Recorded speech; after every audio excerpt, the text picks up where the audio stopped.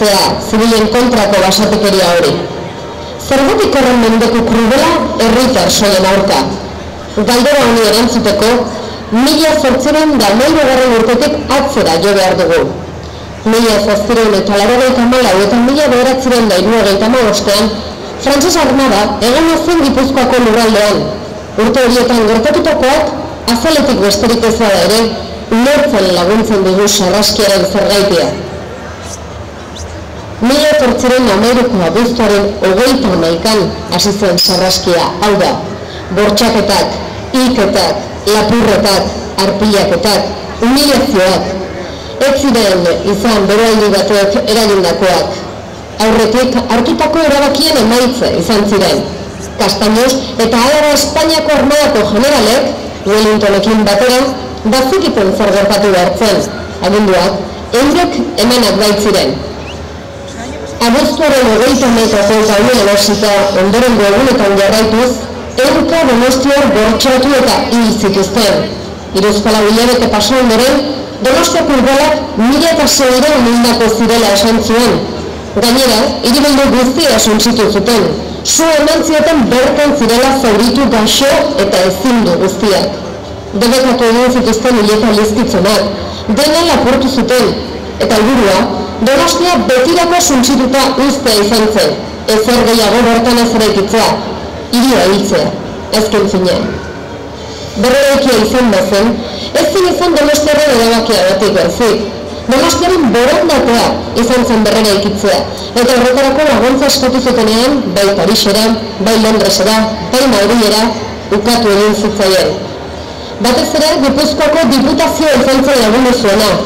Baita Donostia Rabera txek ere izan ziren dirua horregatu zutenak. Horietako batzuk negozio egiteko egin bazuten ere. Dut ezagutzen egon parte zaharra, orduan berrera ikitako hori da.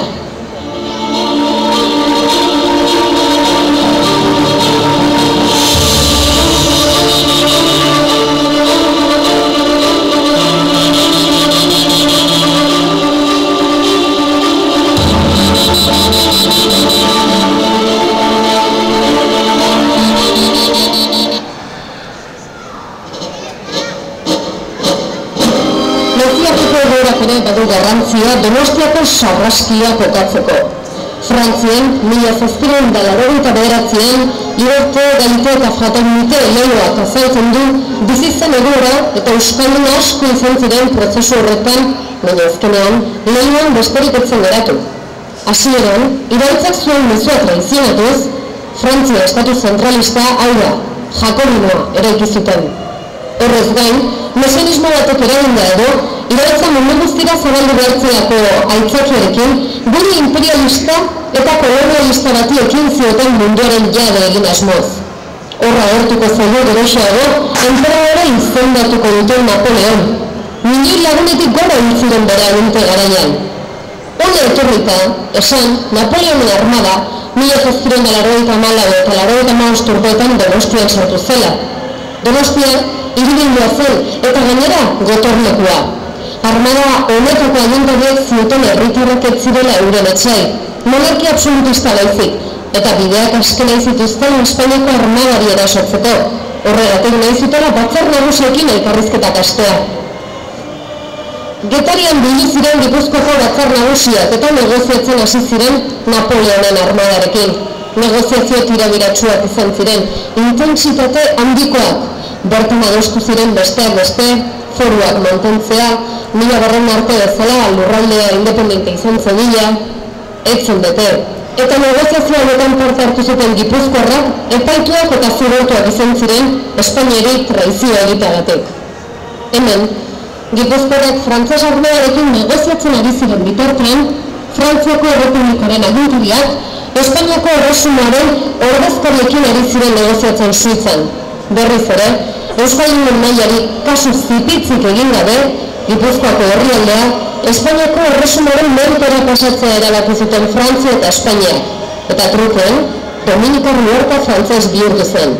Liberte, egalite eta fraternite. Eta nolako zen Donostian baina zortziren onda amairuan. Erabat Euskalduna, beti danek izan den bezala. Esan daiteke nahiko ziurtasunarekin eguneko lorogeita hamar Euskalduna zela, eta horien artean Euskaldun elebakar zirela asko eta asko. Bederetzen mila biztan inguru zituen, dos mila irubilduak eta ingurukoak batuta. Bi elkatu zituen sarraskia gertatu zen garaian. Merkataritza gune oso garrantzitsua zen. Donostian, merkataria aberatz asko bizi ziren, baina biztale gehienak morroiak, ginek, garbitzaileak, nekazariak, ikatz saltzaileak, bi saltzaileak, zali gizonak, tabernariak, esnezaleak, neskameak, Mila zortziren amairuan Donostia iria beratxa zen, harremana ez zituen Europako hiri askorekin. Garai honetan Donostiak zituen mugak ez ziren orain dituenak. Pasaia lezo eta inguruan ziren herri guztiak ere Donostia honen ziren. Agintariek badirudi hiri hori zintza gobernatzen zutela. Hiriaren egitura orain antzeko zen izenak ezik, gurak euskalinak ziren. Konstituzio plaza, plaza berria zen. Merrikakalea, esnetegia kalea, eta horrela apaiz kale, asto kale eta adar luze bat. Geroko eta inposotak dira, horrein egin kale eta plazaren askoren izenak. Euskarat zelan hori ere, noiz bat egin beharko da. Sarraskiaren egunera urbilduz, esan behar da, aiantzeko armara, donostiara iritsi horretik, gaztien zen borrokatu zela frantzesen aurka, milaka hildako egin zituen borrokak. Baina gaztien zen berria artilatu izan, donostian ere, hori gertatuko zela uste zuten donostia asko, baina ez, donostia erabat zuntzitu zuten. Donostia mila zortziren amanduko agustuaren hogeita maita. Aliatuek, donostiari erasotzen hasi horretik, bertako askok jadanek utzia zuen iria, beste askok, ez zuten nora joanik, eta ez zuten uste herritarra bontarekin sartuko zirenik. Setiaren hasieran, Gipuzkoar armada osatzen zuen gudarosko urbildu zen Donostiara, baina aliatuek, ez zioten Donostiako setian parte hartzen utzi, eta irun handera joteko agindu zieten. Aliatuei, kostatu zitzaien Donostia hartzea. Alegin horretan, frantzesek eunko eta eunko aliatu hitzituzten. Agustuaren hogeita maikan urtu zuten bretxan egin zuten zumetik sartzea. Frantzesak, urgun mendian badestu ziren, Orduan, frantzesen atzetik dueta ditzi eta hiru arpilatzeari ekin zioten. Etxe barruetara sartu, lapurtu, emakume oro bortxatu eta jendea hiltzen hasi ziren. Aguzturen hogeita maika izunarekin ezagutzen duen kalekoi ez beste etxe guztien su eman zioten. Hainbat herritarra aliatuak sartu zirenean ongietorri ematera atera ziren eta tirok hartu zituzten. Kastiños eta Alaba generalek agindutakoa betetzeari ekin zioten soldadu horiek. Espantosos gritos y chillidos de mujeres violadas. En la esquina de San Jerónimo, una moza amarrada a una barrica que estaba en cueros y toda ella ensangrentada con una bayoneta que tenía atravesada y metida por su sexo. Tres ancianas que se quemaron vivas en la calle de los Camileros por haber dado los aliados fuego a la casa por debajo. Violaron a las más de entre ellas a una anciana de 76 años que la gozaron más de 12. Una muchacha de 18 años violaba y asesinó de un tiro que la querían violar después de muerte. Una niña de 14 años que la quisieron violar sobre el cadáver de su madre asesinada. Ni bertxatu baina nirekin zeuden beste zazpiak bai. Desde el día del asalto hasta el cuarto que permaneció el testigo, se experimentaron las mismas violencias que cuando entraron. Que tenían orden de incendiar y matar, y que podían estar contentos los vecinos cuando se les dejase con vida de 11 años que la violaron por fin. 22 mujeres forzadas en una sola casa. Que oían los soldados que tenían orden del general español Castaños de pasar a cuchillo a todos los de las tierras y arrasar la ciudad. Yo vi que los aliados incendiaron hasta 12 casas. Una mujer de 70 años abierta el canal los aliados a los soldados franceses que cogieron prisioneros en la brecha con las armas en la mano les trataron con la mayor humanidad, pues les abrazaban y les daban de beber. Egoera izugarri eta egunak.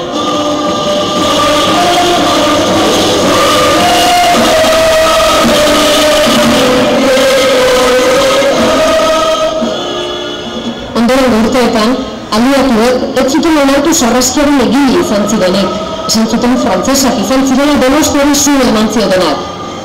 Gezur horren kontra mugitu ziren donostiako eta gipuzkoako agintariak nazioarteko foroetan. Gaur, egia hori aitortzeko oztoporik ez badago ere, gertakizun haiek aztu eta ospakizun folkloriko hutsa izan dadin saiatzen ari dira batzuk. Franco, mila bederatzen egin eta irurogeita bian, aliatuak eta aliatuen etxai frantzesak batu zituen eta hiru armadak donostiako alberdi horren elkarrekin desfilatzen jarri zituen. Ia berren urte pasatu dira sarraskibra izan zenetik, eta donostiarroi dagokigu gertatu zena ikertzea eta egia aurkitzen saiatzea, memoria historikoa berreskuratzea. Baina horren da aurrera egiteko garaia, gure eskuetan dago, geuk erabaki dezakegu eta erabaki behar dugu nolako donostia nahi dugun. Horrez gain, erabaki behar dugu gure festak eta ospakizunak nolakoak izango diren, zer nahi dugun oskutu eta nola, eta non. Ondo dago, abuztuaren hogeita nolken egiten den ospakizuna, Hala ere, hor duenetzea tristea jakin dakiguna, nola bait? Barruan sentitzen dugun injustizia hori, honako uskatzat harri ditakeen sarraski hori erantzun indartsua bat eman behar diogu. Ezin gara gelditu kutsu militarista duen festa utxean. Merezi du salaketa gordinago bat, gizarte zibilaren askatasunaren aldeko alparrikapen bat egitea. Sarraski horretan parte izan ziren armada imperialista horiek salatu behar ditugu gehiago horrelakorik egin ez dezaten.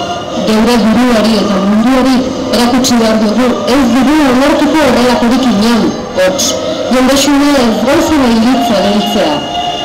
Alboko kalteon garai honetan, baino garrantzitsua bada salaketa, geu, geure buruaren alde egitea eta mundu osoko zapalduen alde egitea besterik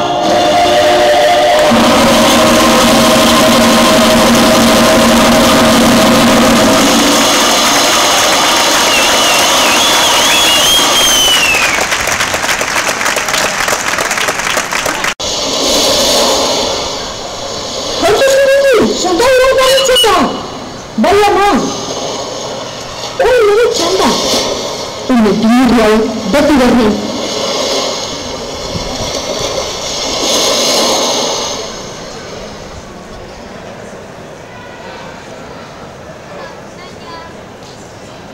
Trago bat hartu eta beste bat atera. Gustora etortzen naiz lagunen artera. Naiz frantsesak ibili batetik bestera Gu gure ritmora lasai bizigera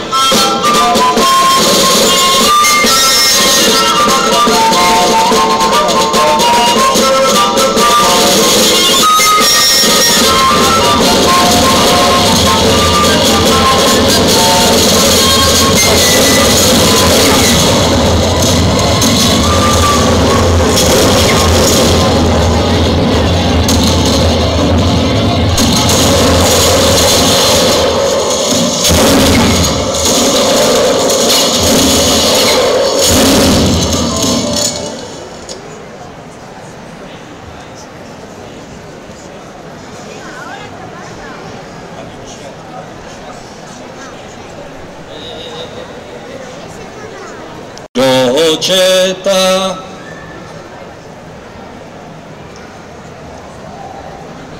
Tirotxeta kainonazoak azkar belarri ertzera. Egitekoak utzi ondoren altzen toki gratera inglesak heldu ziren orduan aliatuen antzera gure bizitzak aldatu ziren egun hartatik aurrera.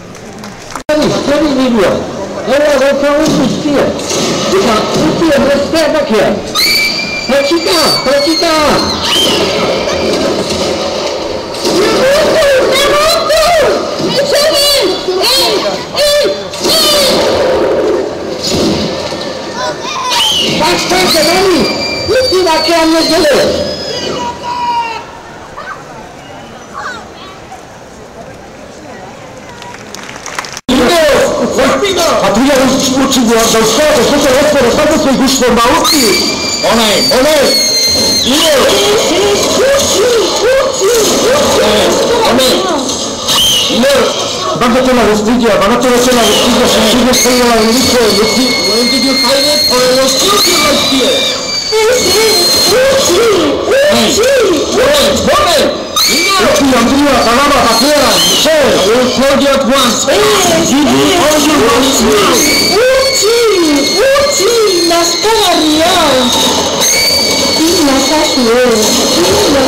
Beldurra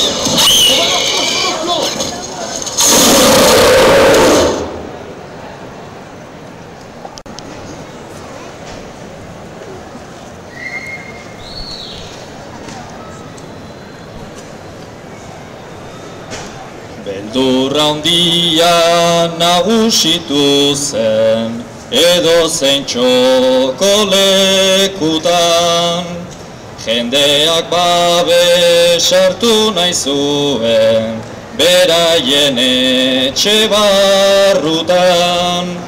Naizta frantsesek alde egin zuten oraindik asko borrokan Donostik patu iluna zuen aliatuen eskutan.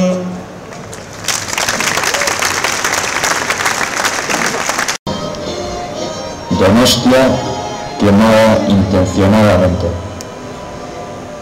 Milatik gora hildako. Se prohibieron los funerales, se prohibió la desreconstrucción. Hilabeteak eta hilabeteak lapurretan.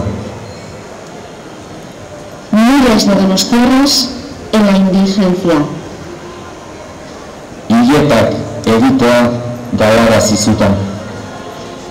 Donostia maite horre zuten. Los aliados culparon a los franceses.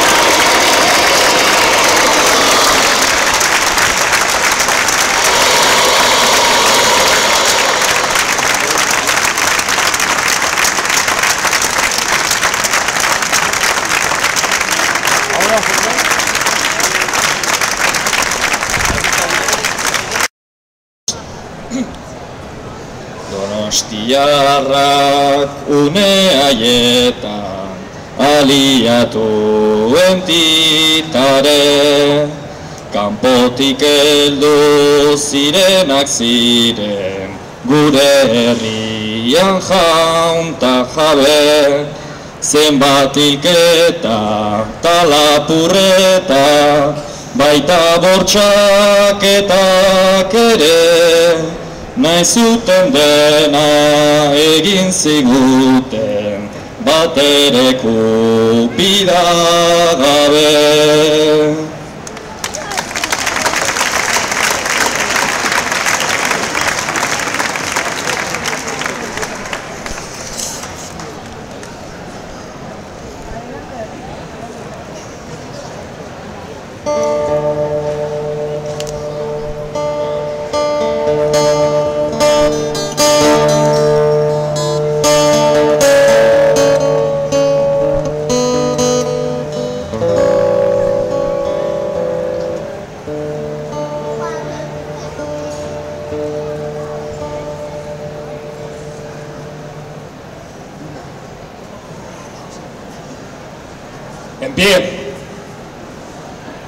Nombre y apellidos. José Manuel Iyarra Mendi. José Ramón Echenique, Miguel Arregui, Juana Francisca Arzuaga, Xavier Antonia Fernández. ¿En qué momento se dio cuenta de que había un incendio? ¿Quién lo provocó? ¿Franceses o aliados?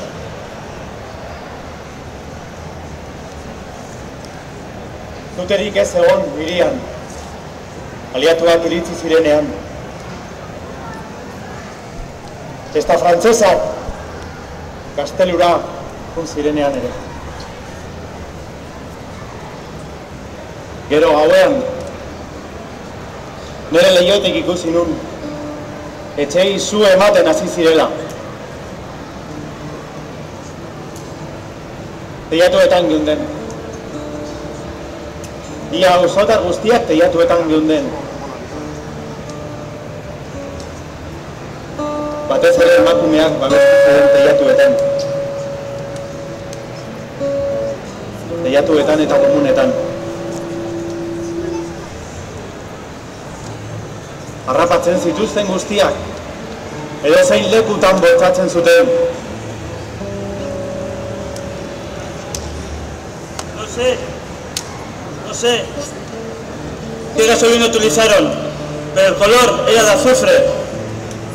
Soldadei entzun nien, bai entzun nien, ofizerei ere, entzun nien, kastaños, generalaren, agindua zutela, iria suntzitzeko, erretzeko, errausteko, eta gero, hiritar guztiak, labanaz pasatzeko.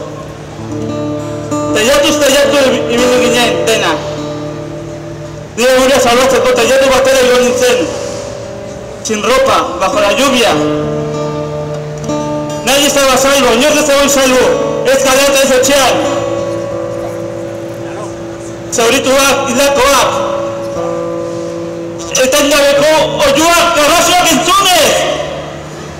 Eta bortxatuak, asko eta asko! Todas las mujeres, todas las mujeres fueron violadas. ¿Qué le hicieron a usted los soldados aliados? lurrera bota zuten kulotadak emanez. Ia zentzurik gabe utzi zuten etzanda. Soldaduek zapaldu egin zuten, hiltzat jo baitzuten.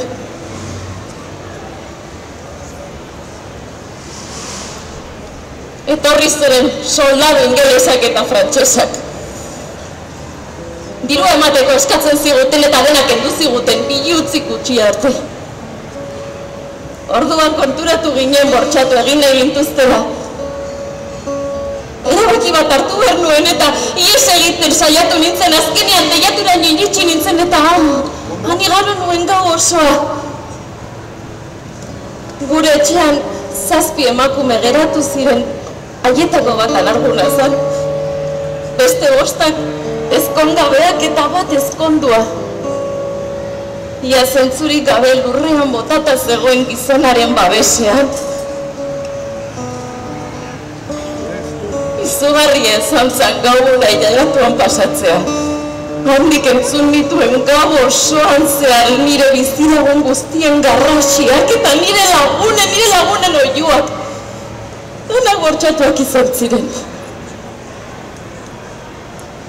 Gogo sentian, ies egitea lortu nuen iritik atera nintzen norbaitek utzitako kapa zahar bat gainean nuela besterik ez nuen nirekin, baina ies egin nuen. Baina bortxatuak izan ziren.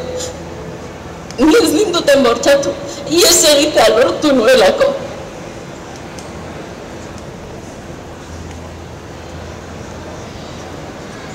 Nire etxetik sartzen ikusi nituen. Arratxaldeko ordu bietan, San Lorenzo kaletik. Eta hor ikusi nuen, bretxatik zetozela. Eta frantses soldaduei jarraitzen utzi ondoren, etxeak arpilatzen hasi ziren. Eta ona, eta beste ara, nire etxera, nire etxera, behin eta berriz sartu ziren, behin eta berriz arpilatu zuten. Eta nik, nuen diru guztia eman nien, nuen guztia, baina ez ziren hase.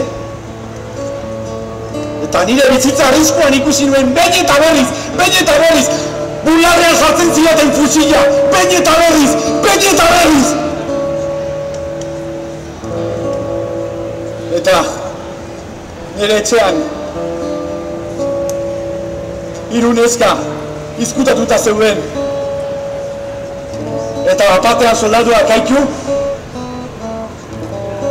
Eta neska horiek bortxatzen saiatu ziren. Eta bortxatu zituzten bai.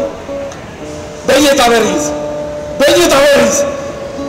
Eta gainera neska horiek egiten zituzten oiuek beste soldaduak erakartzen zituzten.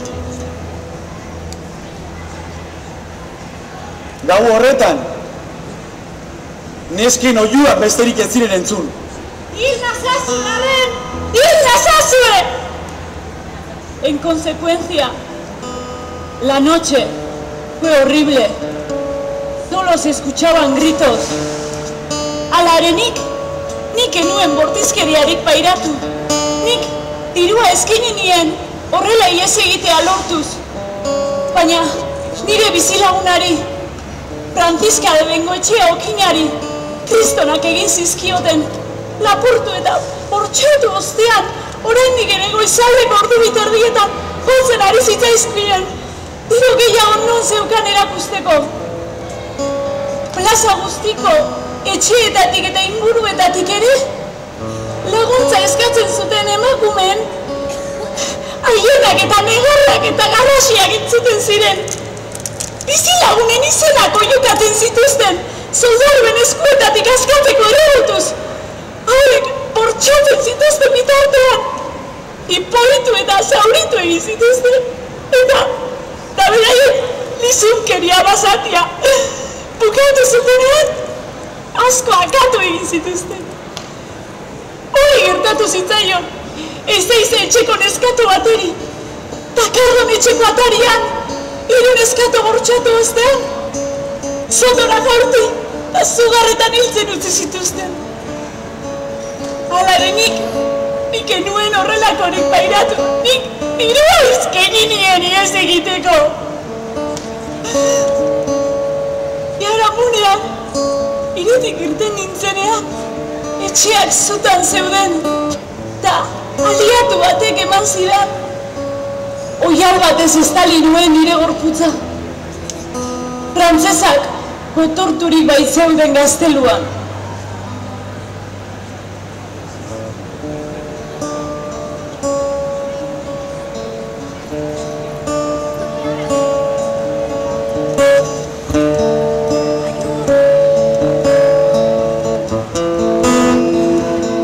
Lapurketak, lapurketak.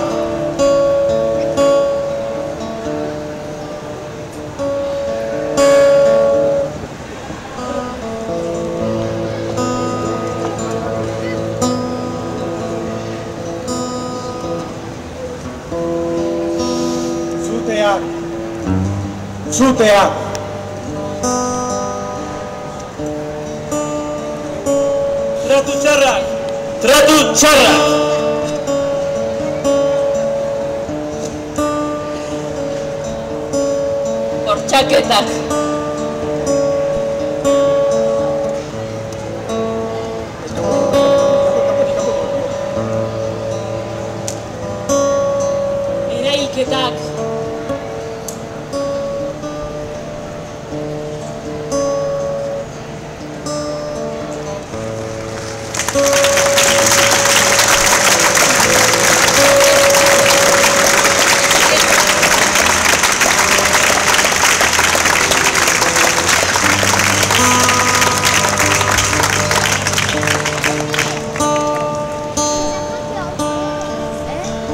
Osema noi beraz arte naiz.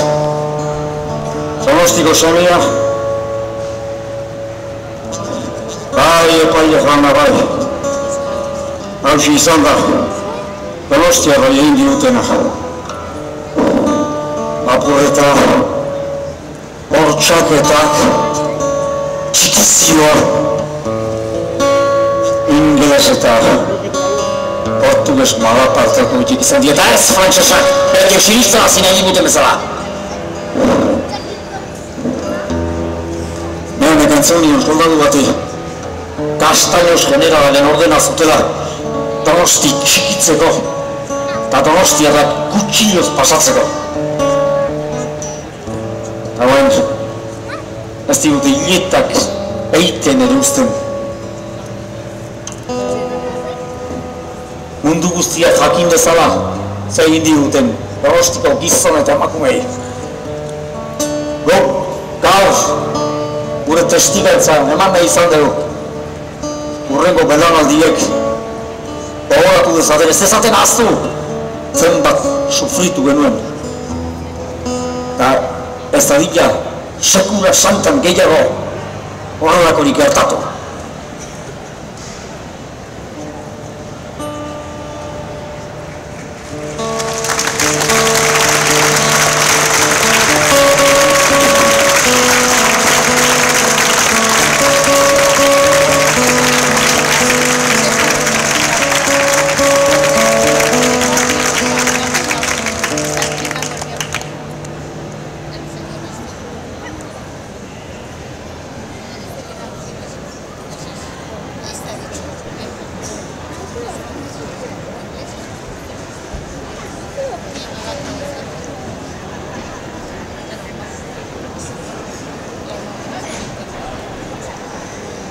Kostako zaigu hau ateratzen oroimenaren kutsatik. Garai gogorrak pasa ditugu ederki asko badakit. Donosti berri keartasua Itzali gabe izan arren etxetatik Donosti berri bat atera zen Orduko errautxetatik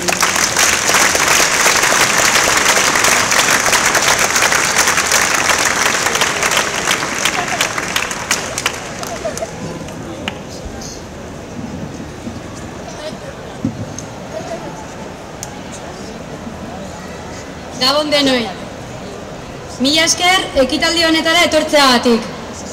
Ekitaldi hau Donostia zutan mila zortziran da mairu, bi mila mairu elkarteak antolatu du.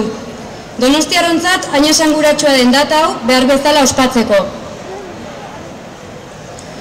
Gracias a todos por asistir a este acto. Acto que Donostia Sutran 1813-2013 ha organizado con la intención de darle a esta fecha tan significativa para los y las donostiarras el carácter que creemos le corresponde.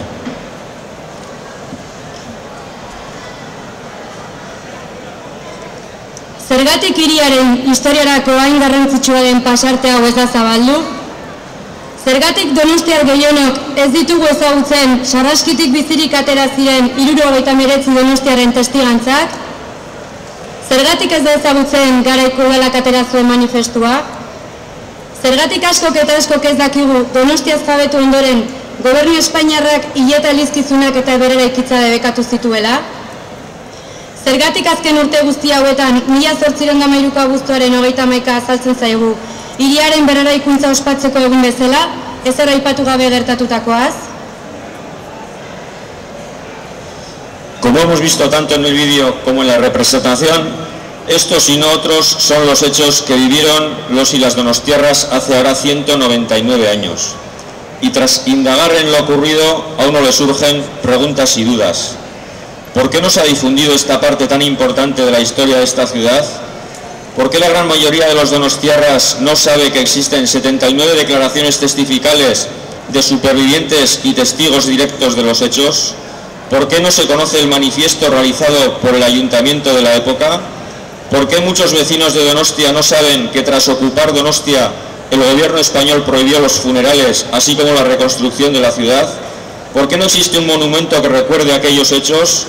¿Por qué durante los últimos años se nos presenta el 31 de agosto como la fecha en la que conmemorar la reconstrucción pasando por alto todo lo sucedido? Beste gauzen artean, aipatzen da mila zortziren damairuko abuztuaren hogeita gaur ezagutzen dugun donostiaren oinarriak jarri zirela. Baina ez da esaten, oinarri horiek auzokide torturatuz, bortxatuz eta eraildakoz, eraildakoz beterik daudela. Hauek eta antzeko galderak izan dira elkartea sortzera bultzatu gintuztenak, eta ekitaldi hau egitera animatu gaituztenak. Ezin ginen heldu berreungarren urte horrenera, zalantzabek guztiak argitu gabe. Ez genuen nahi ez da ere, berreun urte igaro ondoren, irurogeita meretzi testigantza ezerezean gelditzea. Se dicen cosas como que el 31 de agosto de 1813 se pusieron los cimientos de la ciudad que hoy conocemos, sin decir que esos cimientos están llenos de vecinas y vecinos torturados, violados y asesinados. Estas y otras preguntas son las que nos han empujado a crear la asociación y a realizar este acto. No podíamos dejar pasar el 200 aniversario con todas estas dudas sin despejar y dejar que 200 años después las 79 declaraciones testificales quedaran en papel mojado. Uste dugu, abuztuaren hogeita maika, ez dela mila zortziren domaiko amairuko hiltzaile eta bortxatzaileek erabili zituzten jantziekin gure kaleetan zehar pasiatzen ibiltzeko eguna. Uste dugu, data honek hausnarketa bat eskatzen duela, eta behar duen izaera aitortu bartzaiola. Hau da, egia berreskuratu, gertatutakoa gogoratu eta izugarrikeria haiek jasan zituztenak gogoratu eta omendu. Donostia zuta mila zortziren domairu, bi mila mairu elkarteak, orain arteko hildoari jarraitzeko borondatea du. Horregatik jadanik, udalari hainbat proposamen egin dizkio. Gertatutakoa ikertzea, abuztuaren hogeita maika kaletik alik eta hurbilen kokatuko den interpretazio gunea sortzea, mila zortziren domairuan gertatu zena ezagutzera emango duen, emango duen zenbait ekimen. Dokumental bat egitea, irurogeita meretze testigantzen euskeraz eta erderaz egindako argitalpena, eta batez ere irakaskuntzara zuzendutako komikia, Pensamos que el 31 de agosto no es un día para que se pasen por nuestras calles uniformes que representan a los asesinos y violadores de 1813. Creemos que sobre esto también hay que realizar una reflexión y darle a esta fecha el carácter que le corresponde, que no es otro que recuperar la verdad, recordar lo acontecido y homenajear a los y las vecinas que sufrieron aquellas atrocidades. Donostia Sutan 1813-2013 se compromete a seguir trabajando en este sentido, habiendo realizado ya varias propuestas al Ayuntamiento para el próximo año. Investigación de lo ocurrido, creación de un centro de interpretación lo más próximo posible a la calle 31 de agosto, monumento o placa que refleje lo sufrido por los vecinos y vecinas de Donostia en 1813 y en qué circunstancias, distintas iniciativas para dar a conocer lo acontecido en 1813 como realización de un documental, publicación impresa de las 79 declaraciones testificales en euskera y castellano, editar un cómic, etc. Azkenik, eskerrak eman edizkizuegu, ekimen honetan parte hartu edo tau burutzen lagundu diguzuen guztioi. Baita balkoiak utzi dizkiguzuen bizilagunei ere. Por último, agradecer a todas las personas que han tomado parte y han colaborado para la realización de este acto, así como a los vecinos que han cedido sus balcones. Gracias a todos.